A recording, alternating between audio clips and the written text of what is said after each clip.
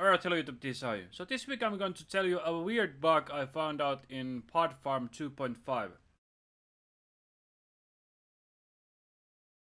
So I have Pod Farm version 2.5.6.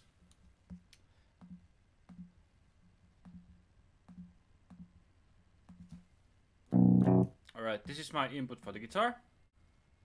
Do a test tone that I did.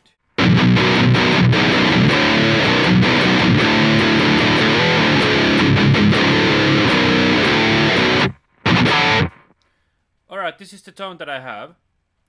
But now the problem is, if I close this and open Cubase, make a new empty session, and let's add an audio track, mono. Put the insert as mono in number two.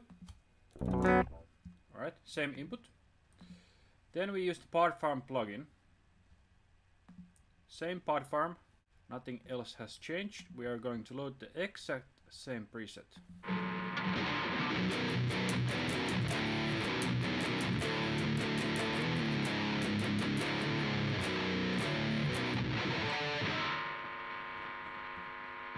We can hear that this sounds very very different. It's both has more input gain and less output gain for some reason and it sounds fucking horrible.